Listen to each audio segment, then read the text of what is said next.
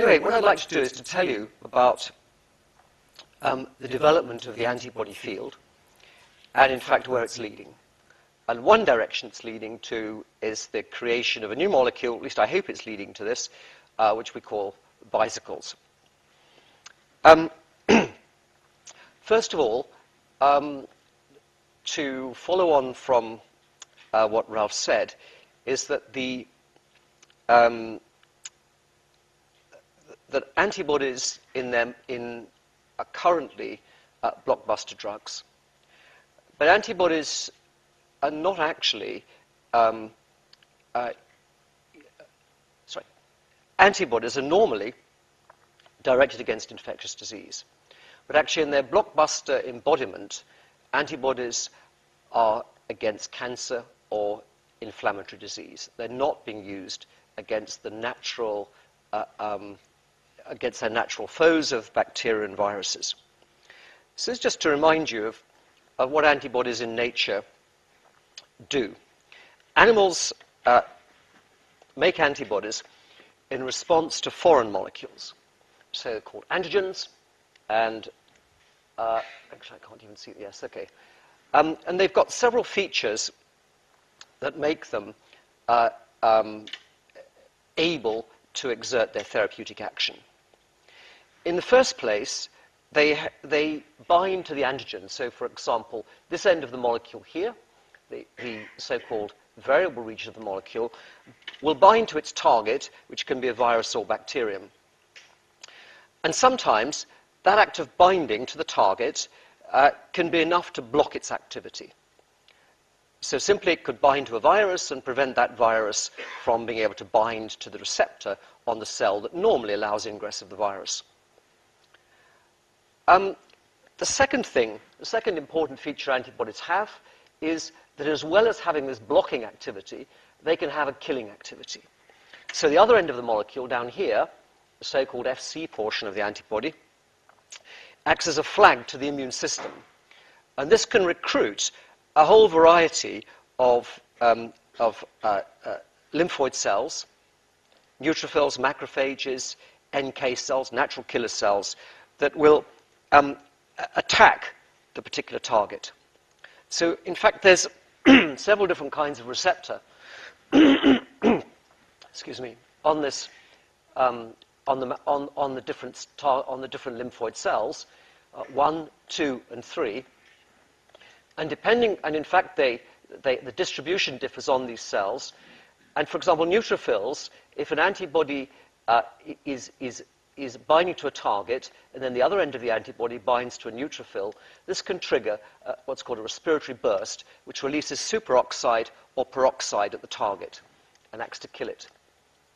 If we look at macrophages, macrophages um, are cells that will essentially eat the uh, uh, bacterium or virus, so they actually uh, uh, just phagocytose it, so that actually helps them to take, take them in and eat them.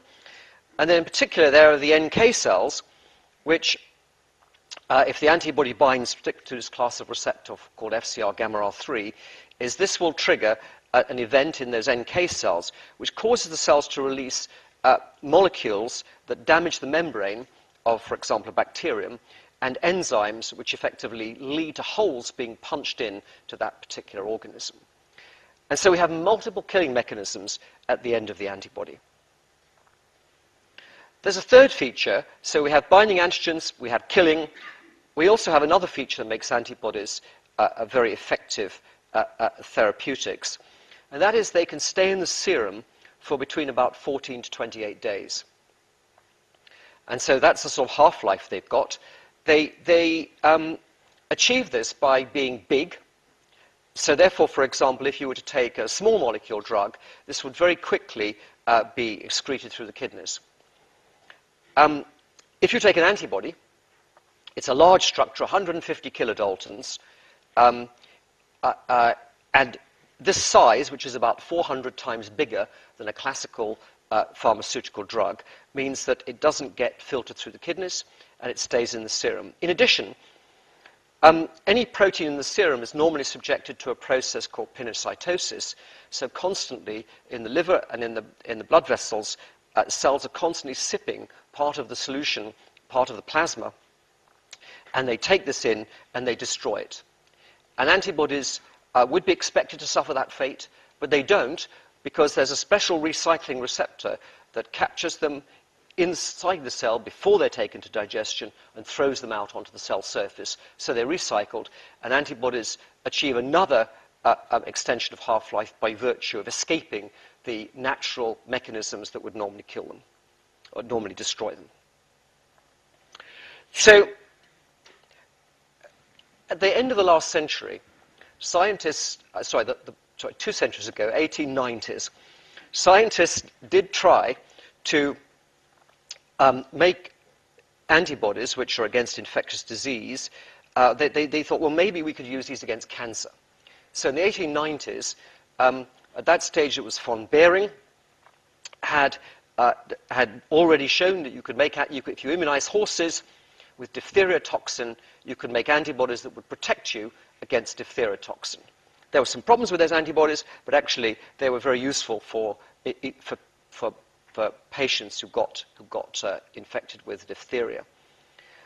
Um, but, he, but actually, he and other people wondered is maybe you could do the same thing with cancer. So maybe if you injected cancer cell, human cancer cells into horses, and I think it was actually a group of Frenchmen who did this, um, uh, if you inject these cancer cells into horses, maybe those antibodies would also kill off the cancer cells.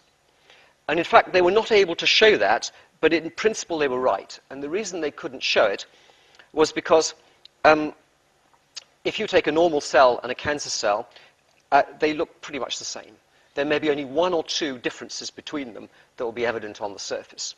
So therefore, actually, if you make antibodies against human cancer cells, you're also making antibodies against normal human cells as well, with the occasional antibody that might be directed against the cancer cell. So actually what you do is you end up injecting somebody with antibodies that are directed against their normal cells, which of course makes them rather sick and doesn't specifically target the tumor. But what uh, Cesar Milstein discovered in, the, um, in Cambridge in the 1970s was he found a way of taking this complexity of mixture uh, that we have uh, um, in antiserum, where you've got lots of different antibodies with lots of different activities, um, as might be raised by immunizing with a cell, and finding in there the one you want.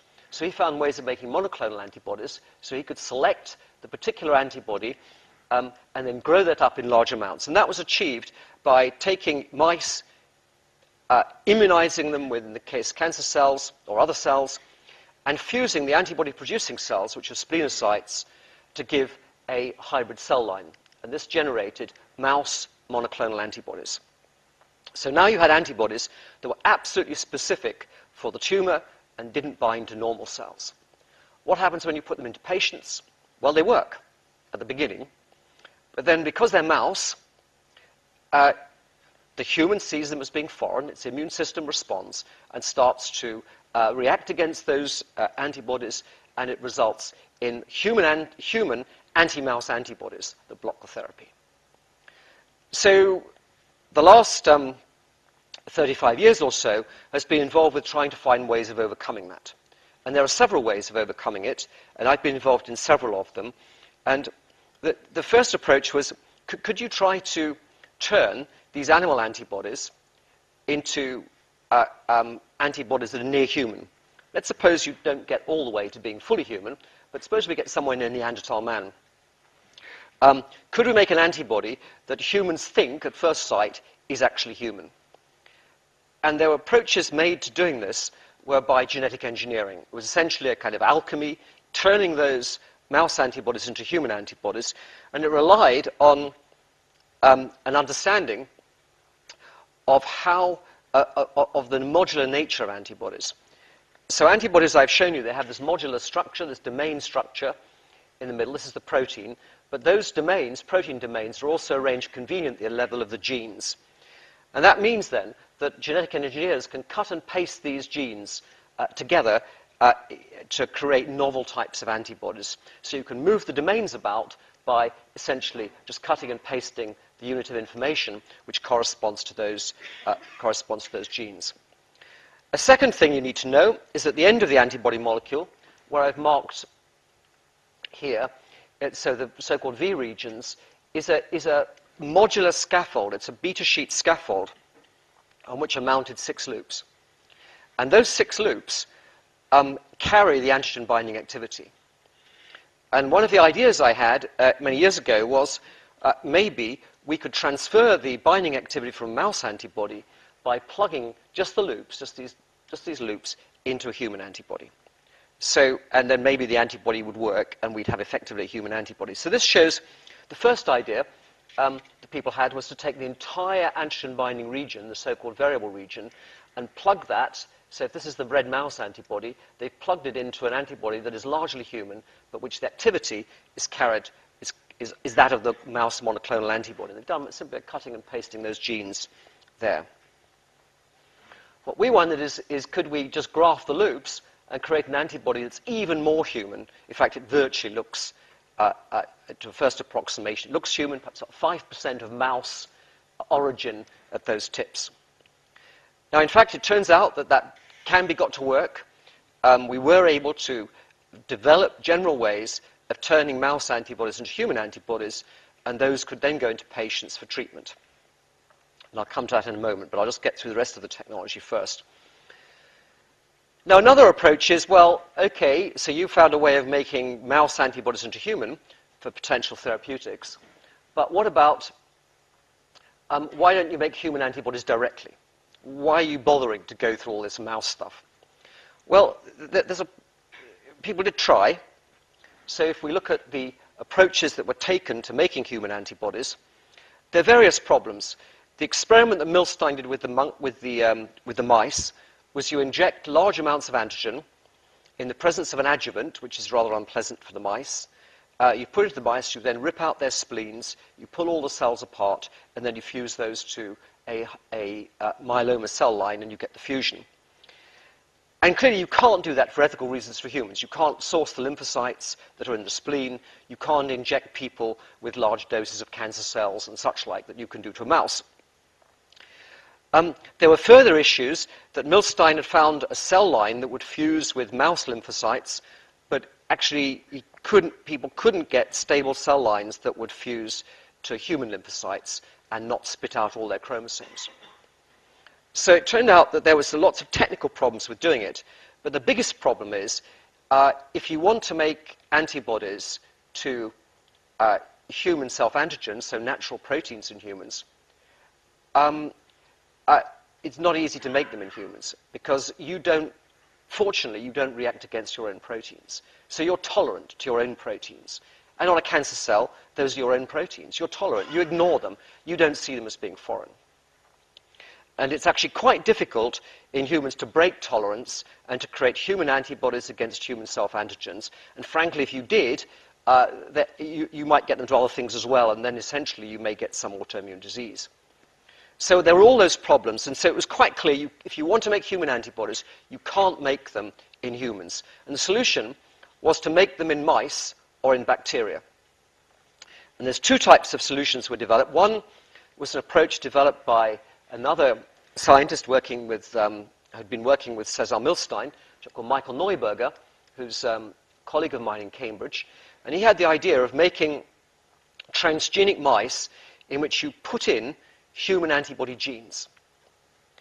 And so those mice have got, you, get, you, you make knockout mice, you remove the natural mouse antibody genes, and you put in all the corresponding piece of human genes, and then you immunize those mice, and they'll produce human antibodies.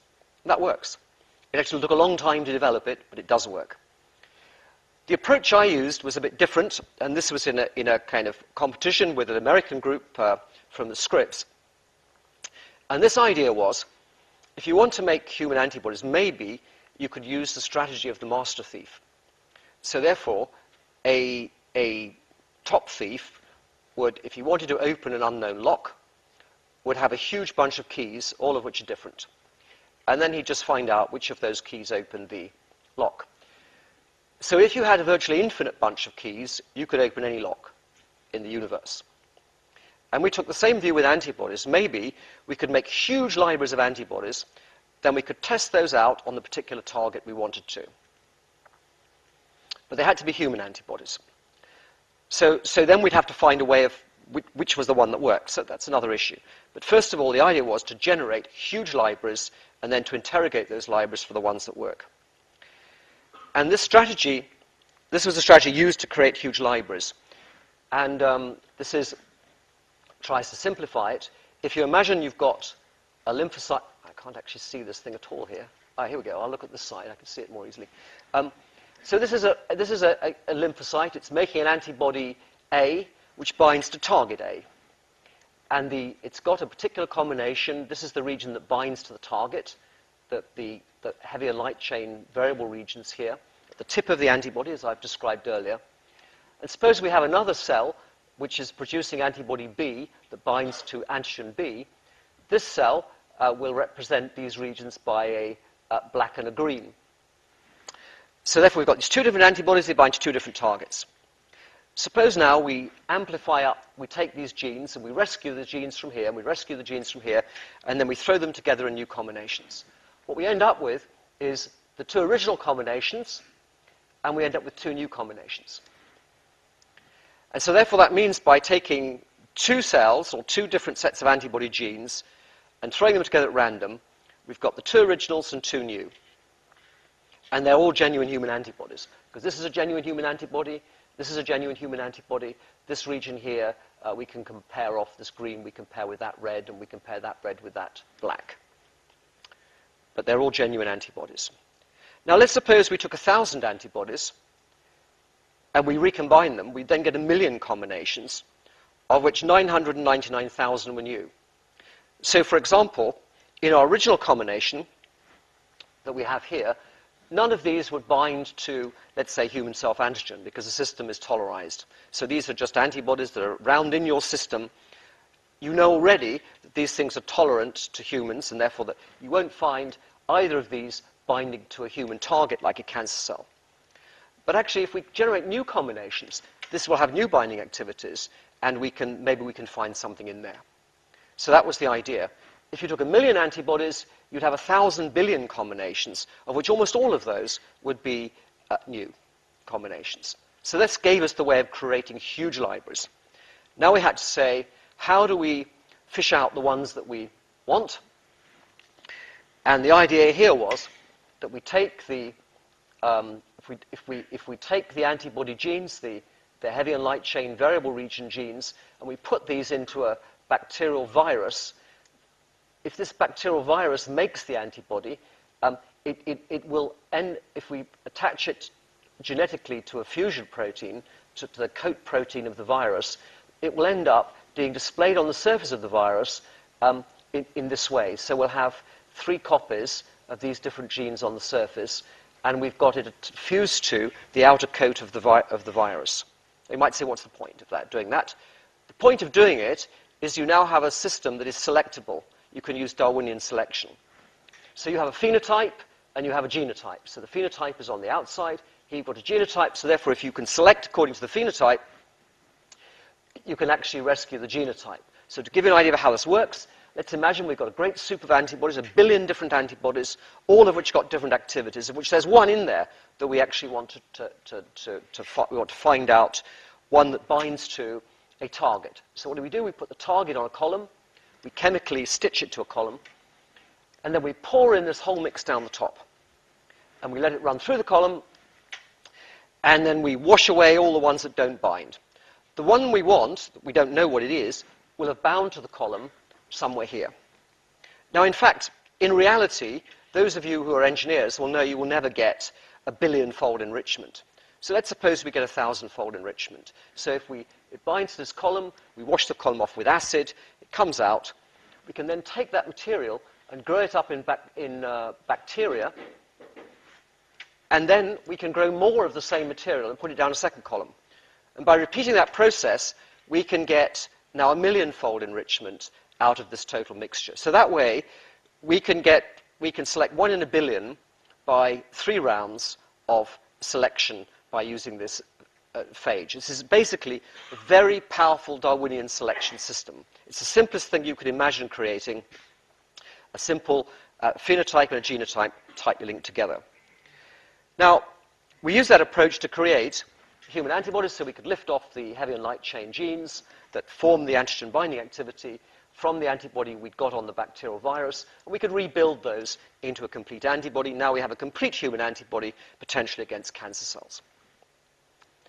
Um, actually, it's interesting. You can also use this method. So, so far I've described uh, making antibodies that, that fr from, from mice. So we start off with a mouse antibody, although in this case I've represented as a chimpanzee because I didn't have the corresponding mouse slide. Um, uh, and, and, uh, or we can start off and we can make human antibodies directly from human genes. But would there be a way of using, could we use the same technology to make, to turn a mouse antibody into a genuine human antibody? In other words, to jump this gap, which so far, so there's no mouse, you start off with a mouse antibody, and could you use it to end up with an antibody, a human antibody with no mouse in it whatsoever? And for various reasons, which I won't go into. That was an attractive idea. And uh, perhaps I can explain the philosophy underlying the strategy we took. Uh, Theseus um, had a ship and he sailed off from Greece and went into the Trojan Wars and wandered around the Mediterranean, went through various shipwrecks. That ship was battered, broken, mended, repaired many times. And by the time he got back to Athens, that ship uh, actually, uh, it looked the same, but actually there was probably only about one or two timbers in it that were the original timbers. So now, the ancient Greeks worried about that kind of thing. It posed a deep philosophical conundrum, probably worse than the conundrum of their currency, where you would, where, where you would say, okay, is that the ship of Theseus or not, given it has perhaps not a single timber left in it? So that's an elaborate thing. The, the more modern version of that is I have an axe from my grandfather, and my, uh, um, it came all the way from my grandfather. My, my father changed the handle and I changed the head. Now, is that your grandfather's axe? Uh, it came from your grandfather's axe. It was imprinted by your grandfather's axe, but it isn't your grandfather's axe. So we decided to use the same approach. So this shows how use of Greek philosophy and the power of mathematical large numbers, you can do some biology. And so we took a mouse antibody, we took, a, we took the heavy and light chain genes, which are the bits that encode the antigen binding activity, and we uh, took the VH genes. In this case, it's half the binding site, half one of these, one of these domains at the end that are put together. We took, we took that and we paired it with a large library of human light chains, and we end up with a half mouse, half human um, um, antibody, which binds to the particular target because we use our selection process to fish out the half human, half mouse antibodies that work.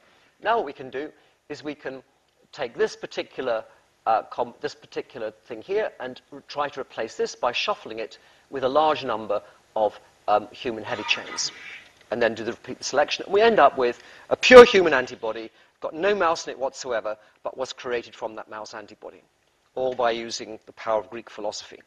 Now, um, this actually was used to create the world's top-selling drug called Humira this approach. So it may sound just like an airy-fairy academic tale, but actually that's what was used. So I've described here the technology.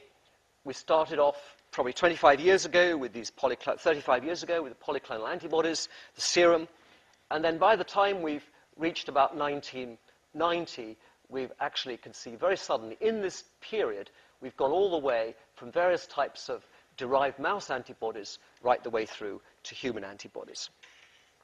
And that had a big effect on the, uh, on the ability to use antibodies as pharmaceuticals. Previously, it wasn't possible because essentially you had a, a, just a, a, mixture of things which might have a tiny bit of activity. And for a pharmaceutical, you need to have 100% of your chemically pure ingredient that you're going to put into a patient. And so with monoclonals and with the ability to make human versions and human versions of antibodies against human self-antigens, uh, that transformed the, the field. Now, this just shows you the effect of some of these. The, the big areas in which they've been used have been in, in cancer and in immune disorders. And this actually is an experiment. The first one at the top here is an experiment that we did in Cambridge. Um, actually, it was mainly with the clinician Herman Waldman. Um, and what we did is he had an antibody which was directed against uh, um, a marker on, on, on, um, on B cells and T cells called CD52. And he'd made a rat antibody, and he realized this was going to be immunogenic in the patients.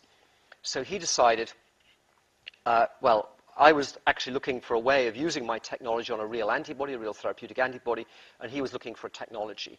And we, we, we, we met uh, with Cesar Milstein, and he, and he actually sort of introduced us to each other, and we went ahead and did this experiment. So we made an antibody, a humanized antibody, now called alemtuzumab.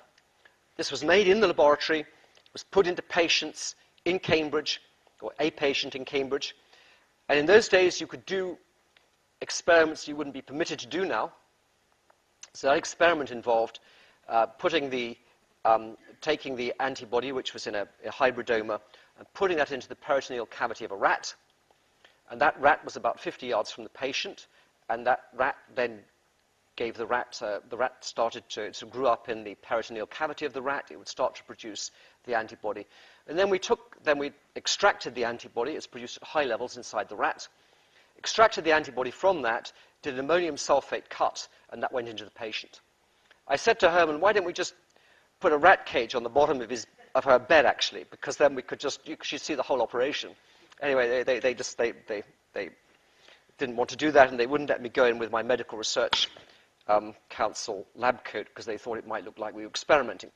But actually, we were, and it worked beautifully because this patient had a massive tumor in the spleen and uh, several kilograms in weight, and a dose of antibody, or actually several doses over 30 days, resulted in complete destruction of this tumor mass.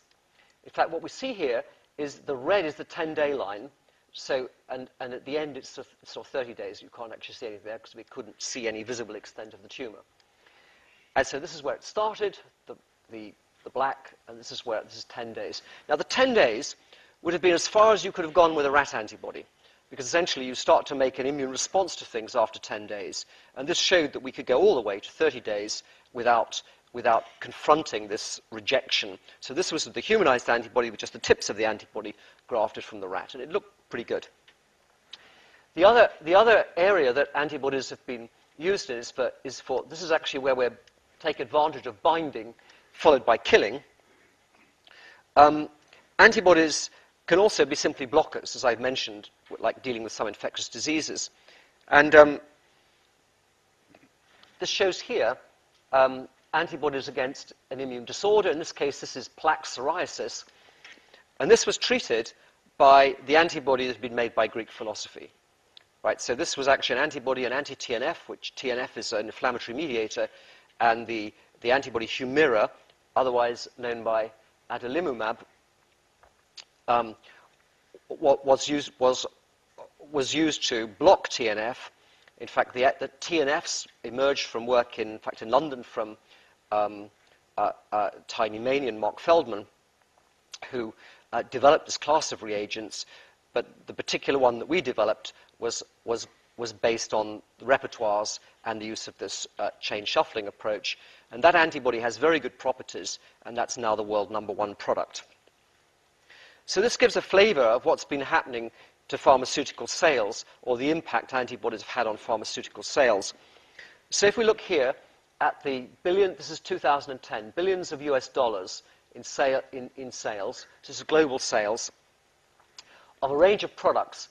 We start off with the biggest selling product then was Lipitor. I, I grouped all the insulins together. Advair, which is a chemical for treating asthma, or mixture of chemicals supplied by GSK. We have Crestor, which is another statin. So as you might expect, in the sort of above $5 million here, in the top 10, we've got there's statins, which you might well expect because they've got a very large market. Um, but actually, the, within those top 10 drugs, these green things, they're all antibodies. So actually, by 2010, the, the, the, essentially the best-selling, in the top 10, the best-selling are antibodies, not chemicals. It's been a sudden transformation of the entire field, certainly in terms of profitability is concerned.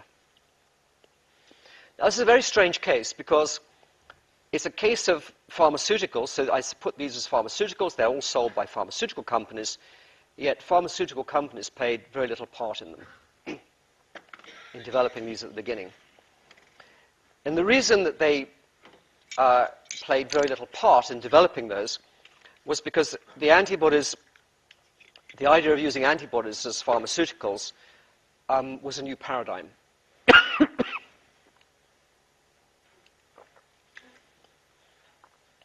and you can see the problem they faced. If we, I've marked here the advantages in green and disadvantages of antibodies compared to chemicals, chemical drugs. So antibodies uh, have a number of advantages compared to small molecule drugs. They bind tightly to the target. They bind only to the target. They bind tightly to the target because they're very big, and you can get a large surface area of contact. They bind only to the target because they're also that, that convolution of surface area, convolution of surface means they can be very specific, like having a very elaborate key. They have a long serum half-life, so they can be around for 28 days. They recruit cell killing, so they can bring other cells in to kill. And they're big enough to block protein-protein interactions like the interaction of TNF, the inflammatory mediator, with its receptor. Chemicals have difficulty doing any of this. They actually, it's difficult to make a chemical bind really tightly to a target unless that's an enzyme, and it's a very long job to do that. Um, so really, chemicals, they also tend to be hydrophobic and they tend to drop into other places in a target, like, like deep pockets, which aren't the one you want them to go into. And therefore, you can find that you get off target toxicity at a late stage in clinical trials. So you have a number of issues with chemicals uh, which you don't have with antibodies. But there are a number of issues with antibodies you don't have with chemicals, which is antibodies have more difficulty getting deep into pockets. They can't, they're big enough, they don't get out of the kidney, they don't get out of the blood either very easily. Um, you can't get them into cells, whereas small molecule drugs get into cells and do works inside a cell.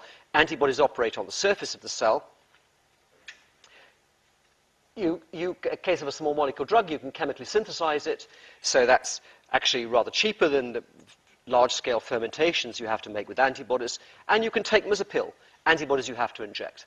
And the problem was large pharmaceutical companies looked at this, and they really, to them, something with these, these were the characteristics of a drug. They didn't think about the possible advantages of an antibody. That was to them, that's pie in the sky, it needs to be shown. So, obviously, chemicals are bloody good drugs, as are antibodies, but the fact is they have different classes, and one has to be open-minded enough to see when you have a change, sometimes it's not where you expect, it's in a rather different area, and I think, by and large, they were rather locked into this chemical space and they didn't actually see the advantage of a different class, this different class of biologics, which is why the large pharmaceutical companies don't feature in the development of antibodies. It was all, bi- it was all biotech, people like Genentech. Of course, later, large pharma would buy them up, but, but the early stage. So, so now you may wonder, well, what next? So we've got these antibodies, they're, they're, they're doing great stuff, attacking tumors and uh, uh, blocking rheumatoid arthritis and such like. What does the future hold? Are there any more paradigm shifts? And there might be. I thought I'd just quickly outline some of the things that I think that we could imagine uh, serious improvements being made with antibodies. So I think there'll be a phase of improvement, and I thought I'd just run through some of those to give you a flavor of what you might expect. The first thing is the serum half-life. So we could imagine with antibodies, you could either improve them by playing to their strengths, so improving these advantages, or you could imagine trying to overcome their disadvantages. I'm going to describe both types of approach. So the first one, the easiest, is to make them work even better than they do already, on the grounds that actually they will outcompete the first generation. Uh, in a way, it's a bit like toothpaste.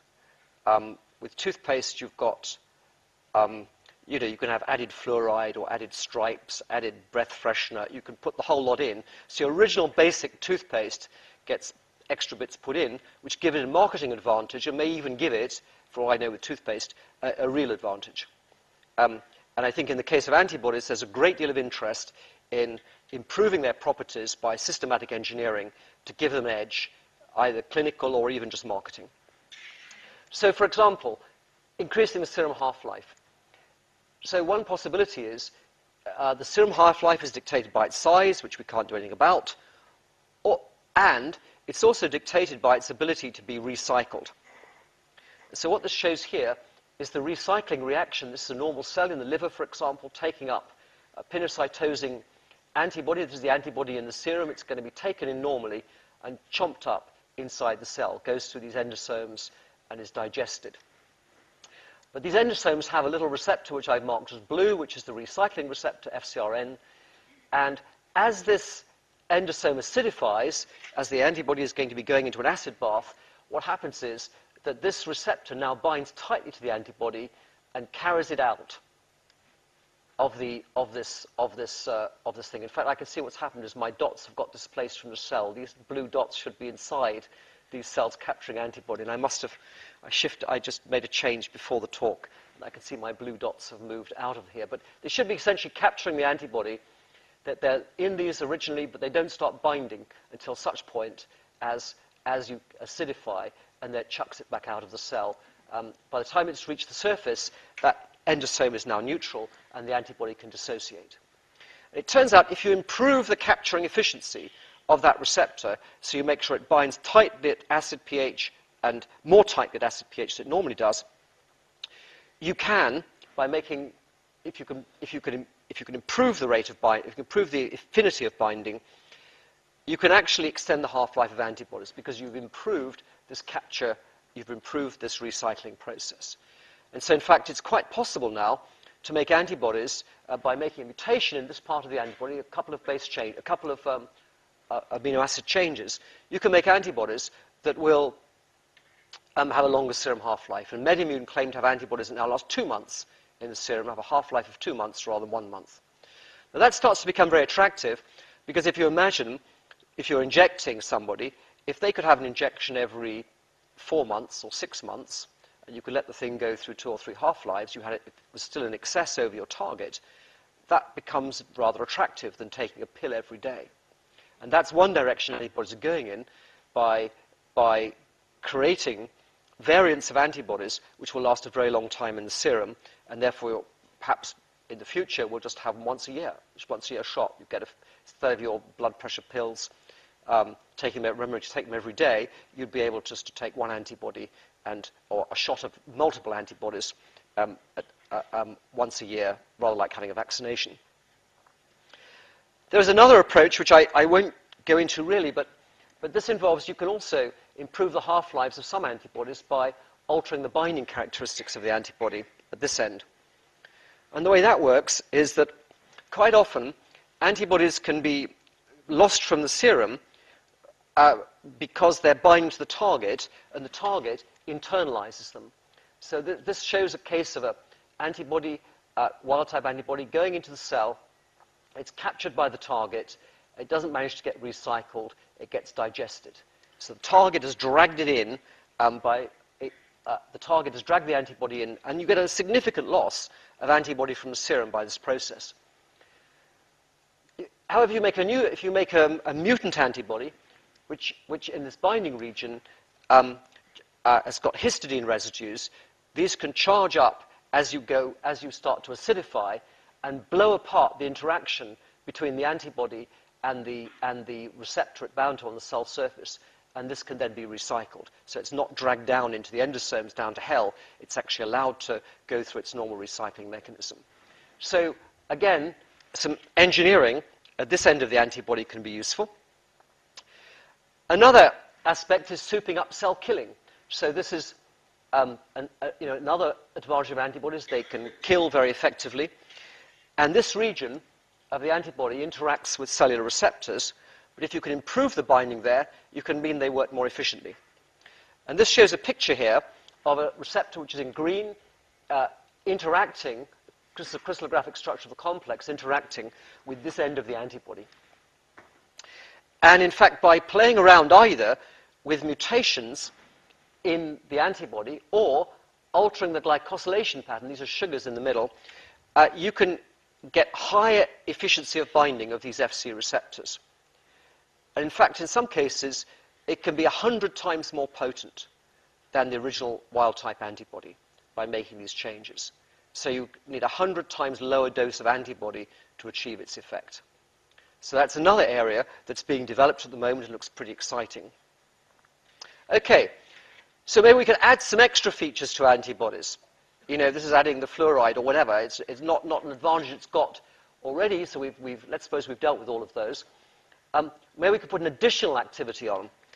Antibodies work, as I've explained, by recruiting other cells in to do the killing. But maybe you could make the antibody kill itself. I mean, sorry, kill in its own right without having to bring in other cells. So imagine you've got a tumor, and the antibody has got into the tumor, and you haven't got the lymphoid cells in the tumor to be able to achieve the killing. Then you're a bit stuffed. The antibody won't, won't kill because you need those other cells. But suppose you attach a toxic chemical to it. So it goes into the tumor, it binds the tumor cell, and it's taken in by the tumor cell. Uh, if you've got a really toxic chemical on there, like, for example, maytansine, which is a cytotoxic, or auristatin, this can kill the cell in its own right. And in fact, Genentech have been engineering a number of their antibodies to have toxic maytansine attached to them, and this enhances their activity. So they actually use Herceptin, it's one of the big blockbusters now for breast cancer. It looks like it's more efficient if you conjugate it to um, uh, one of these highly toxic, uh, either microtubule uh, inhibitors or, or, or, or, DNA intercalators, um, which work at very low concentration. And so this is certainly being very actively developed now. And then finally, you could imagine if you wanted antibodies to work more efficiently, you could actually get into additional activity, which would be, which would be to uh, um, have two activities together in the same antibody. So people are now making combos of antibodies. The idea here would be, for example, in the case of rheumatoid arthritis, you know that TNF is an inflammatory mediator. You know that IL-17A is an inflammatory mediator. And you know they can both contribute to rheumatoid arthritis. So maybe you could make an antibody that would both be an anti-TNF and an anti-IL-17A. And there's a little company which, by using this kind of repertoire technology but with another small protein, makes a little pluggable module, uh, which, for example, if the antibody, this is an anti-TNF antibody, you can plug on a module which carries the anti-IL-17 activity. So that antibody now has two activities and therefore can attack a particular inflammatory pathway from two independent directions. And this little company, uh, which I consult for because I didn't think of the idea, it was a great idea, uh, but, but in fact, um, I think this looks extremely promising. Um, the issue is, of course, you then have to get all of these combinations through clinical trials and deal with the regulatory issues associated with using combinations. So let's look then. We've been through playing to the advantages, adding on new activities. What about this? Could we overcome the disadvantages? This is where I'd like to turn to bicycles. So a lot of the advantages, sorry, a lot of the disadvantages of antibodies are due to their large size. So in other words, their large size, indeed, it does rescue them from the, uh, it does stop them going through the kidney, but, but uh, actually it also stops them going to the tissues. So could we find ways, maybe, of, of getting them into the tissues by making them smaller? Could we make antibodies by chemical synthesis? So perhaps if we could make them smaller, we could chemically synthesize them, and uh, at the moment it's not feasible to make an antibody, it's too big. You know, we're talking about hundreds of amino acids, but maybe we could make much smaller, we could chemically synthesize it. So the idea here was, if we look at, this is a kind of shows you a humanized antibody. This is the tip, this is the region that carries the activity of the mouse antibody uh, against a particular target, a cancer cell. And in detail, as I showed before, this corresponds to a scaffold with six loops on it. Um, those six loops carry the activity, and really the, the, they have different lengths and different sequences according to different antigen they bind they're simply being held into place by the scaffold. So it's just holding them in the right orientation to be able to bind. So the question is, if we wanted to shrink an antibody, the first obvious thing to do is get rid of all the scaffold and just focus on the loops. It, would there be a conceptual way of doing that? Well, not in that form. But then we can ask some other questions. Do we actually need six loops? And in fact, it turns out from experience I developed over a number of years, it became quite clear you don't need six loops. Some of those loops, loops in antibody don't do very much. They just happen to be there. I mean, they're just there, and they might make the odd interaction. But usually, the binding activity is concentrated, sorry, in two or three different, uh, uh, perhaps just, perhaps, perhaps even two loops in some cases. But most of the binding activity will come from two loops. So, okay, well, let's not bother with six loops. Maybe we'll just make two loops. And that becomes more interesting because then you can imagine shrinking an antibody and you can imagine taking one loop, another loop, and if we could hold them together, in this case we've suggested this chemical here, um, which is uh, benzylic halide, um, we might be able to, to effectively use this as our scaffold, holding those two loops in position. And in fact, we came across a reaction that had been done by some chemists in, in, uh, in, um, uh, in Holland uh, some time ago, and they were interested in making small peptide mimics for purpose of making vaccines.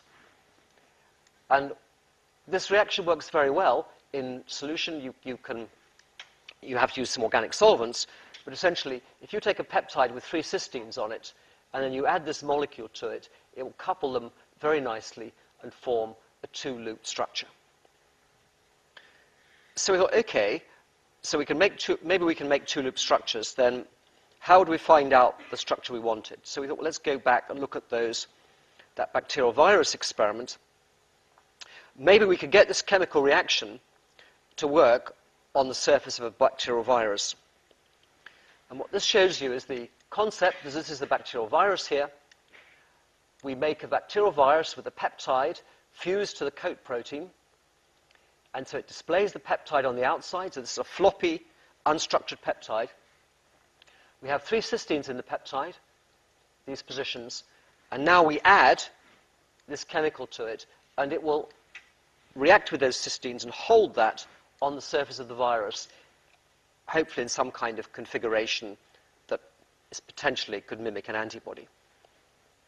Then we can go through all these selection procedures, and we can fish out which one of those work. And what we can do is we can create very large repertoires by, of these by essentially encoding in the DNA a cysteine followed by, say, half a dozen random residues, another cysteine followed by half a dozen random residues, and that way create a very large repertoire of different structures.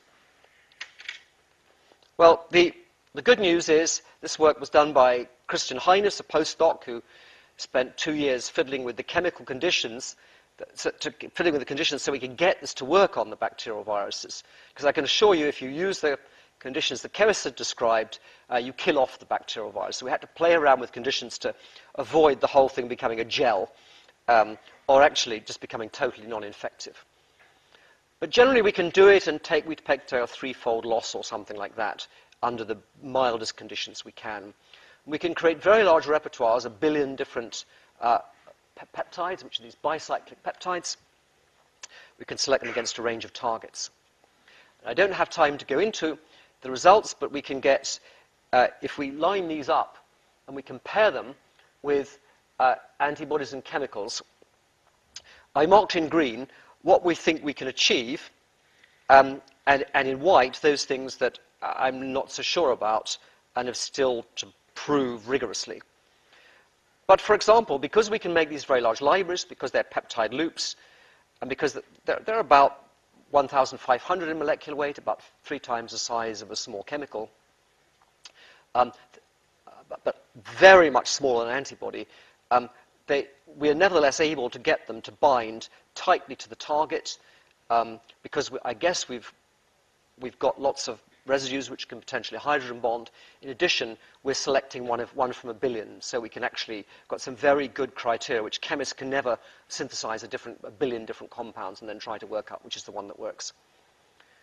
So I think that's one reason we get these very high bind, good binding activities. We can get down into the kind of picomolar range with these antibodies binding to, say, a protease. They're very specific.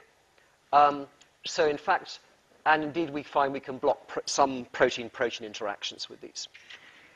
We think we should be able to recruit cell killing, namely if we just add one of those Genentech drugs to it, it should actually be able to kill if it's taken into cells. It can't recruit other cells, but it could very well be taken in and recruit cells. Long-term half-life is a bit of a problem because we don't have the recycling mechanisms, and these are small, and therefore they tend to come straight through the kidney. But if you put on them palmitic acid, they can then bind to serum albumin. They get carried around the serum in serum albumin, and that effectively bulks them up. But they can dissociate from serum albumin, so they can dissociate from there and go through to the tissues. So actually, it looks as though uh, we, will never do as well as an antibody, but we can certainly uh, take the half-life into the order of a day or so, which actually is rather better than, than a small molecule drug would, would be. Um, we can target pockets. We've shown that. We can get it outside the blood because it's small enough, um, but we can't get into cells yet. It seems to get, it doesn't go in. Um, and, and we can't put it through the stomach, although it's quite resistant to proteases, not, it can't quite survive the full working over um, with the stomach juices. Um, so, but we can synthesize it. So these things are 15 residues long. We can make them in large amounts. We believe we should be able to make them very cheaply, and the chemistry is very simple. So I'll leave it at that. What I've tried to indicate there is how this sort of antibody revolution took place, the impact it's had, the fact there's still more to do, and the fact actually people are still thinking about other paradigms, other types of entities. And I always say, well, keep an open mind. I don't know whether bicycles will succeed. We've set up a little company based, based on this technology. Um, it has four big venture capitalists in there who hope, who they believe it works, but you know, we just have to see whether it will or won't. I'd be very surprised if there wasn't some use for it. And I think that the, the kind of areas I can see an advantage would be because you can make chemical synthesis and, and you don't have to use tissue culture and you can get it outside the bloodstream. The disadvantages are going to be the shorter half-life and fewer effector mechanisms. You don't have ability to recruit other cells. But if you imagine using this as a topical on skin or lung, it may not matter. Um, you can imagine using it systemically with a drug conjugate. You can imagine using it as a short-term antagonist for flares. So you get immunological flares, which you may be able to block. Sometimes you need to block them for about half an hour or so to be medically useful. And finally, agonists, so that when you trigger a biological reaction and that reaction continues, you don't really want to use antibodies for that. Because actually, you could trigger a reaction, as happened with Togenero, and actually it may, be an un, it may be an unwanted reaction, and that can be very dangerous. So having something which you could tailor with a short half-life, short half-life agonist could be very effective. So I'm sure in somewhere in those areas, vesicles will be useful, but I don't yet know exactly where they'll be positioned. And what we find is we talk to clinicians and get quite a few good ideas, actually. Um, but, but, but, but we, we, we're not completely sure. The next biggest challenge is to take this technology and to find out, you might say, the killer application for, well, not to kill the patient, but you know, the, the, the, the big application that one would want to use for that.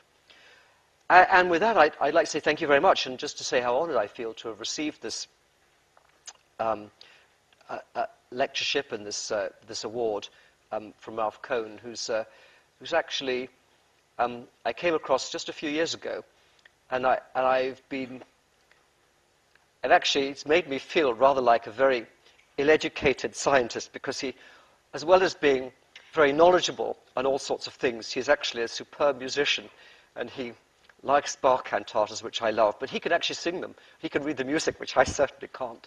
Um, and I think actually um, it, it's, it's, it's, you're very lucky to have someone around, and in fact, you've probably got quite a few people around um, who are, are, more than just scientists. They do other things, and they do those things well. Um, I haven't yet to aspire to that, but you know, one day, let's hope I will. Thank you.